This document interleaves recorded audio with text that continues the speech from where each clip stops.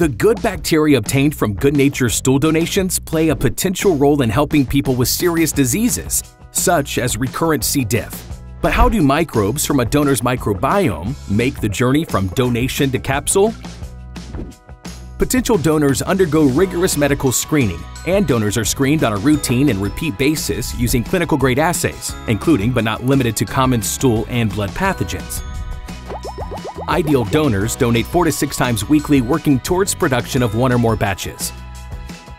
We combine numerous donations from a single donor into a batch. We inactivate non-product microbes in the donations, including potential residual pathogens to improve quality and reduce risk to patients. Additional filtrations clear the residual solids, remove the alcohol used for inactivation, and preserve the product Firmicute bacterial spores, and the end product contains 1% of the total starting material. Finally, the product is processed into liquid-filled capsules of a highly concentrated dose to use as an orally administered microbiome therapeutic or in research and development programs. Make a difference for patients with serious diseases as a stool donor. Apply today at goodnatureprogram.com.